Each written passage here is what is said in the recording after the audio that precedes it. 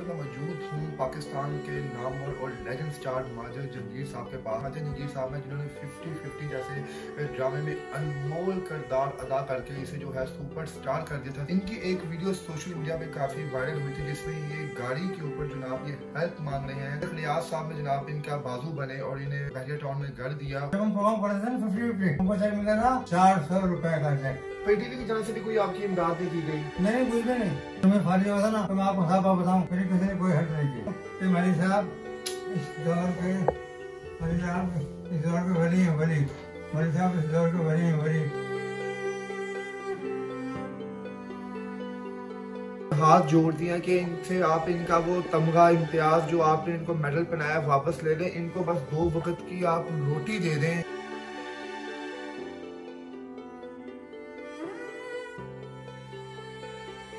जी, अस्सलाम नाजीन मैं हूँ आपका मेज़बान इर्तज़ा भट्ट और आप देख रहे हैं आर पी पॉडोशन नाजीन इस वक्त मौजूद हूँ पाकिस्तान के नामवर और लेजेंड स्टार माजर जंगीर साहब के पास, जनाब। ये वही माजर जंगीर साहब हैं जिन्होंने 50 50 जैसे ड्रामे में अनमोल किरदार अदा करके इसे जो है सुपर स्टार कर दिया था। इस ड्रामे को लाजवाब कर दिया था और आज तक लोगों के दिलों में वो किरदार इनका बखूबी याद है। इनकी एक वीडियो सोशल मीडिया पे काफ़ी वायरल हुई थी जिसमें ये गाड़ी के ऊपर, जनाब, ये हेल्प मांग रहे हैं कि इनकी इमदाद की जाए।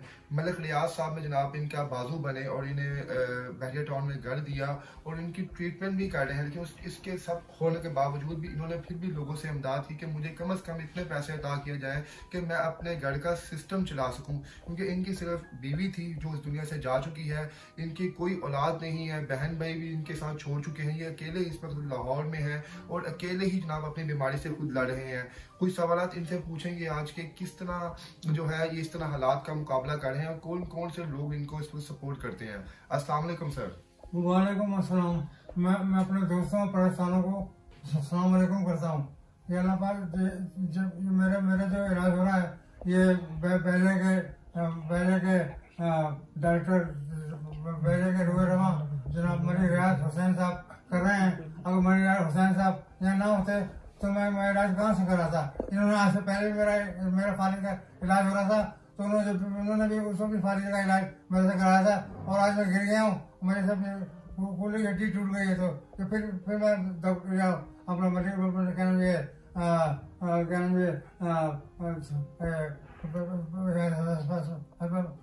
अस्पताल में आया तो मैं फिर यहाँ दाखिल हो गया और मैं तो यही कहूँगा कि हमारे रियाज साहब जो हैं वो इस दौर के वली हैं। मुझे राज साहब इस दौर के वली हैं वली उन्होंने बहुत सारे लोगों का ख्याल किया उन्होंने मेरा भी ख्याल किया लेकिन अब सवाल ये पैदा होता है कि वो तो मुझे रास्ते में रखा रहे हैं लेकिन बाकी और जो लोग और बहुत सारी जिम्मेदारियाँ हैं वो कोई पूरी नहीं कर रहा। ना हुकूमत कर रही है और ना कोई और कर रहा है। अब बात यह मैं मैं, मैं, मुझे सात साल हो फारिज हुए हुए। सात साल से मुझे फारिज था लेकिन उसके बाद ये बीच में ये ये मेरे ये पूरी घटी टूट गई। एक नया वाक़ हो गया। तो दो वाक़ हो गए मेरे साथ। अब जो काम हम काम हमको वैसे नहीं मिलता है, शुरू से। काम ऐसा काम कोई भी नहीं मिला। तो मसला ये है कि जब काम नहीं होंगे तो उस खर्चे, उसका खर्चा, उसका सब कौन देगा? अब हुकूमत जो है, हुकूमत पाकिस्तान, जिसमें जिसमें चार साल वो रहे क्या नाम? इमरान खान साहब, चार साल। साहब, उन्होंने तो कमाल ही कर दिया।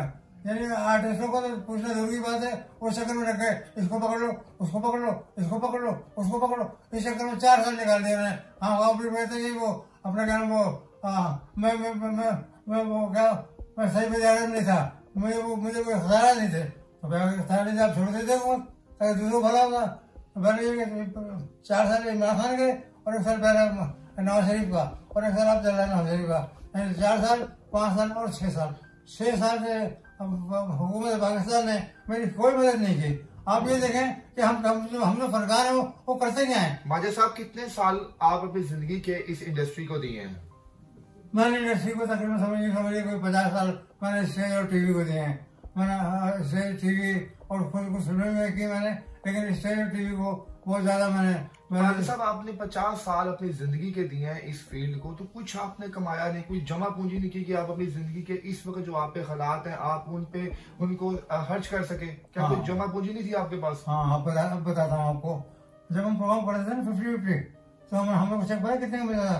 हमको चेक मिला था चार सौ रुपए का चेक चार सौ रुपए हर हफ़्ते हम चार सौ रुपए चेक आते थे और प्रोग्राम कितना ज़बरदस्त करते थे हम लोग। अब अब तो जो नए आर्टिस्ट हैं नए लोग हैं, वो तो लाखों की बात करते हैं, करोड़ों की बात करते हैं वो तो। हम चार सौ रुपये में फिफ्टी फिफ्टी हर हफ़्ते हर हफ़्ते प्रोग्राम होता था, चार सौ रुपये चार सौ रुपये करते तो हम चार सौ रुपये के चेक में, हम जमा क्या कर सकते हैं? कुछ भी नहीं।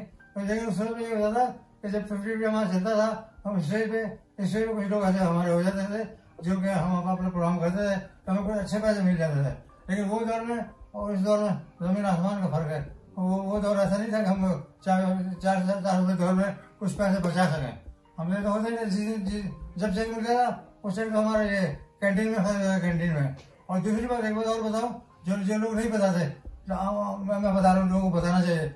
जो जब से पीटी कायम हुआ है ये पैंतीस रुपए का पैंतीस कुछ चार्ज देते हैं पीटी चार्ज पैंतीस रुपए हर हर हर हर हर साल हर साल के हमारे इलेक्ट्रिक बिल में ये पैसे आते हैं। वो पैसे कहाँ जाते हैं? तो पीटीवी की तरफ़ से भी कोई आपकी इमदाद नहीं की गई? नहीं कुछ भी नहीं। देखा ना ये पैंतीस पैंतीस पैंतीस हर महीने पूरे पाकिस्तान का जो बिल जाता है बिल। अच्छा तो क्या वजह बनी कि आपको कराची छोड़ना पड़ा? कराची तो आपके खून में शामिल था। आपकी जबान तलफुज में कराची से मोहब्बत झलकती थी। हम्म। तो क्या दिल पे पत्थर रखे? क्यों आपने कराची को छोड़ बात करके लाहौर में आया? वजह यही थी कि मैं कराची में जब मुझे जब मैं फाली हुआ था ना तो मैं आपको साफ़ बात बताऊँ मेरी किसी ने कोई हेल्प नहीं की। किसी ने भी कोई हेल्प नहीं की और मैं ट्रेन अपनी जो बीवी थे मेरी पिताजी इंतज़ार करे अल्लाह उसको जन्नत में जगह दे। तो मैं उसके साथ लाहौर आ गया। और लाहौर आने के बाद मेरे जेब में कितने थे? कितने थे मेरी जेब में? कोई थे कोई? दस दस हज़ार ग्यारह हज़ार रुपए। तो बस? जी हाँ बस। और उससे मैंने वो गाड़ी रेंट की रेंट रेंट गाड़ी अच्छा वो जो गाड़ी थी वो रेंट की थी? वो रेंट की मेरी नहीं मेरी कुछ नहीं था। वो रेंट की गाड़ी थी। वो रेंट की गाड़ी करके मैंने थोड़ी बैनर बैनर लगाया कि शायद कोई अल्लाह भरा कर दे हमारा। तो अल्लाह ने भरा कर दिया क्योंकि उस जमाने में रमज़ान का सीज़न चला रमज़ान का। रमज़ान का सीज़न था तो लोगों ने तो कोई हेल्प की हमें फिर ये जो हमारा जो अपना जो घास थी घास इसमें मैंने बैनर लगाए थे वो किस तरह किस किस तरीके से मरी रियासत की नज़र पड़ गई उसके ऊपर। तो उन्होंने फौर मरी मरी रियासत की भेजी है अंबर अंबर। अंबर रियासत उन्होंने उन्होंने फ़ोन करके मुझे और मेरी वाइफ को बताया कि देखो माली साहब से कहें आप फ़िक्र करने की कोई ज़रूरत नहीं हम आपके पास है ना हम आपके पास है ना। तो उन्होंने कहा ठीक है। फिर वो कुछ देर से चलते रहा फिर उन्होंने हमें घर का बंदोबस्त कर दिया। अच्छा फिर क्या हुआ? फिर जरा हमसे, हमको एटी एटी हुई ना हमने क्या?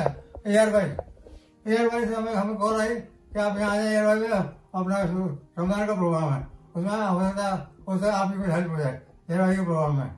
मैं एयर बाई के प्रोग्राम में जरा कर दिया उन्होंने मेरे को टिकट दिया इस्लामाबाद का हमने लाहौर से लाहौर से पिंडी का, लाहौर से अपना कराची का टिकट मिला एयर टिकट हम लोग चले गए।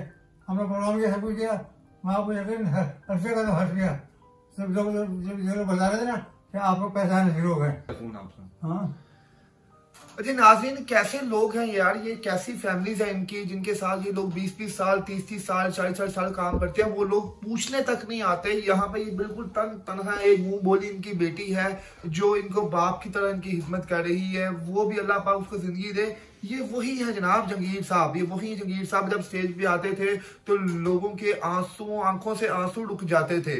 जंगीर साहब आपको तो हमारी पाकिस्तानी हुकूमत ने अवार्ड भी दिया तमगा इम्तियाज़ भी दिया। हाँ। क्या किया उसका आपने? मैं कह रहा हूँ भाई अपना आरिफ अलवी साहब आरिफ अलवी साहब आपसे मुखातिब हूँ। मुझे तमगा इम्तियाज़ नहीं चाहिए भाई। तमगा इम्तियाज़ वापस ले लें और मेरे जो घरेलू अखराज है मेरा मेरा जो सिलसिला है उसको शुरू कर दें। वो भी आप आप अभी हुकूमत पाकिस्तान में हैं, तब जब हुकूमत पाकिस्तान में नहीं होंगे तो कौन पूछेगा आपको? मैं तो नहीं मानूँगा तो पाकिस्तान के सदस्य तो इन्हें तमाम इम्तियाज़ देने के बजाय तमाम इम्तियाज़ हमसे वापस ले लें। और मैं कह रहा हूँ ऐसा बंदोबस्त कर दें, ठीक ठाक हम आराम से रहें सुकून हम हम हम फनकार हैं।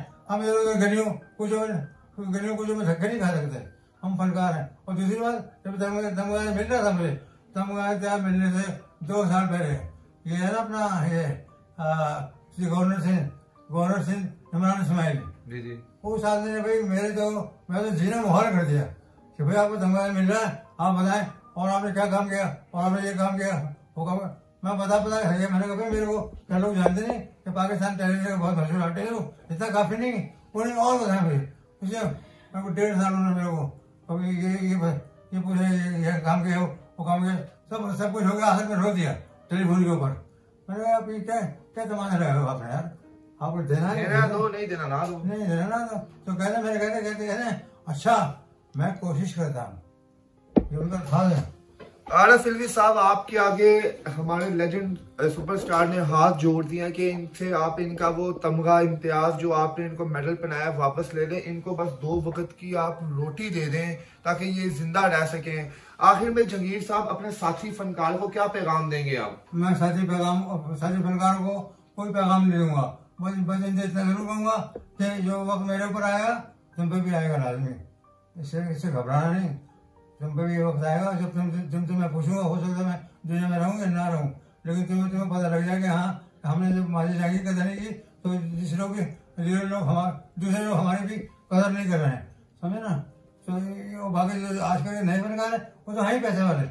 वो हम इस तरह हमारी तरह नहीं है कि वो गुजरियों में लाल हमें गुजरियों में लाल। आजकल के सरकार वैसे वैसे अपने बिल्कुल ऐसे यार मलक रियाज साहब के लिए आखिर में कोई पैगाम जिन्होंने आपकी ज़िंदगी को थोड़ी बहुत आपकी ज़िंदगी को पुरसकून बनाया।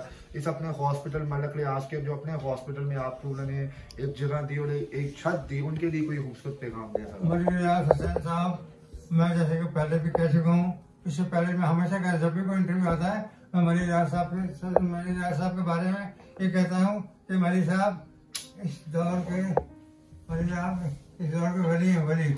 मलिक साहब, इस दौर के वली हैं, वली। आपने मेरे साथ जो जो सारा किया, आप क्या समझते हैं कि हमारे दिल से दुआएँ नहीं करती आप हमारे दिल से दुआएँ नहीं करते हैं और जो दुआएँ नहीं करेंगे आप, आपको आपको रहना, घुमाना भी नहीं होगा। देखो ना, आप आप तो आप इतने लोगों हेल्प कर हैं इतना सब कुछ कर हैं आप आपके पहले के दस्तरखान चल रहे हैं।